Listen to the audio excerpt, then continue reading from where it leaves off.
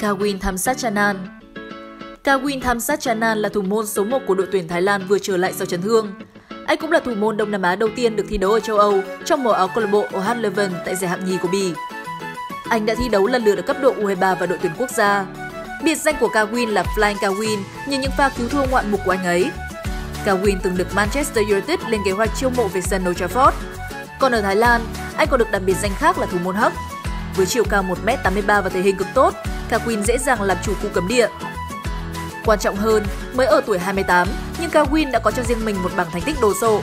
Hai chức vô địch AFF Cup 2014 và 2016, một huy chương vàng SEA Games 2013, bốn chức vô địch Thái League của Motown United 2009, 2010, 2012 và 2016. Thitiphan Puangchan Sinh năm 1993, sở hữu thể hình và thể lực rất ấn tượng. Thitiphan có thể xem là thủ lĩnh hàng tiền vệ của đội tuyển Thái Lan nhờ lối chơi vô cùng mạnh mẽ, quyết liệt nhưng cũng rất tỉnh táo và kỹ thuật cá nhân rất tốt. Trưởng thành từ lò đào tạo Motown United, Thitiphan đã sớm nổi danh và được đánh giá cao về năng lực thi đấu. Anh đã từng giành chức vô địch Thái League cùng Motown United 2012, giành Thái FA Cup 2017, giành huy chương vàng SEA Games các năm 2013, 2015 và vô địch Kings Cup 2017 cùng đội tuyển Thái Lan. Thitiphan hiện đang thi đấu tại giải J-League One cho câu lạc bộ Oita Trinita theo hợp đồng cho mượn và cũng đã có 8 trận đấu cho đội bóng này. Sự trở lại của Thitiphan chắc chắn sẽ giúp tuyến giữa của đội tuyển Thái Lan trở nên chắc chắn hơn và mạnh mẽ hơn. Đây sẽ là thử thách thực sự cho những tiền vệ trung tâm của Việt Nam. Thirathon Bunmathan Năm nay 29 tuổi, Thirathon sở hữu bề dày kinh nghiệm và kỹ năng chơi bóng ấn tượng. Bắt đầu được biết đến từ câu lạc bộ Rai Pracha, nhưng anh thực sự nổi danh khi chơi cho Buriram United, đội bóng hiện tại của sân trường. Thi đấu ở vị trí hậu vệ cánh trái, đôi khi lên tiền vệ, Thirathon đã có 218 trận đấu cho câu lạc bộ này và ghi được 15 bàn thắng. Rời Buriram, Thirathon sang chơi cho Muang Thong hai mùa giải trước khi chuyển sang Nhật đá cho Vinsecobe theo dạng cho mượn ở mùa giải 2018. Hiện tại, anh cũng đang thi đấu tại J-League One trong màu áo Yokohama F Marinos.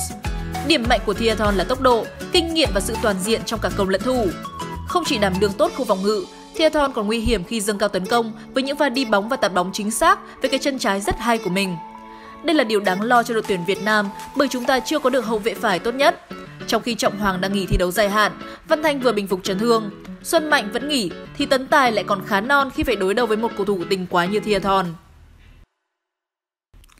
Chanathip Songkrasin Chanathip từng được xếp thứ 37 trên 50 được Fafatu đánh giá.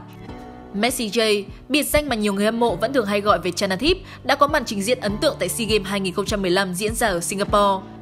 Tiền vệ 22 tuổi là trái tim của đội tuyển U23 Thái Lan, là linh hồn trong lối chơi kiểm soát bóng của người Thái. Ngôi sao 25 tuổi này có lẽ là cầu thủ Thái Lan nổi tiếng nhất hiện tại khi đang chơi khá thành công tại giải vô địch Nhật Bản trong màu áo đội bóng cũ của Lê Công Vinh, Consadole Sapporo. Mặc dù có chiều cao khiêm tốn 1m58, thế nhưng Chanathip lại được ví như Messi của Thái Lan nhờ kỹ thuật cực khéo và lối chơi đầy sáng tạo. Mặc dù chuyển sang chơi tại giải đấu cao nhất của Nhật Bản, thế nhưng Chanathip đã nhanh chóng chứng minh được tài năng của mình khi liên tục được ra sân cũng như có những đóng góp khá nổi bật cho Consadole Sapporo. Tính đến thời điểm hiện tại, ngôi sao tấn công này đã có tổng cộng 38 trận đấu cho đội bóng này, ghi được 6 bàn thắng và 6 pha kiến tạo thành bàn. Rõ ràng ở góc độ chuyên môn, khó có thể chê được Chanathip. Sự nhanh nhẹn, khôn khéo và bản lĩnh thi đấu hơn người của cầu thủ này đã từng khiến các hậu vệ của Việt Nam phải khốn đốn ở những lần đụng độ gần đây và chắc chắn, anh sẽ vẫn là cầu thủ nguy hiểm nhất mà huấn luyện viên Park Hang-seo phải chú ý và có phương án chăm sóc đặc biệt. Tiersin Nangda, Tiền đạo 31 tuổi đã bình phục chấn thương và lập tức được ông thầy người Nhật Bản triệu tập. Không có ứng cử viên nào xứng đáng trở thành cầu thủ Thái Lan nguy hiểm nhất trong danh sách này, ngoại trừ Tiersin Nangda. Sự nghiệp chơi bóng của tiền đạo kỳ cựu này có thể đang xuống dốc, nhưng anh vẫn là một trong những cầu thủ Đông Nam Á có giá trị nhất trên thị trường với mức giá 900.000 euro. Thiersin trở lại Thái League mùa này sau khi trải qua mùa giải 2018 tại câu lạc bộ J-League Sanfrecce Hiroshima. Anh đã ghi được hai bàn thắng trong giải đấu, mặc dù câu lạc bộ của anh đang phải chật vật.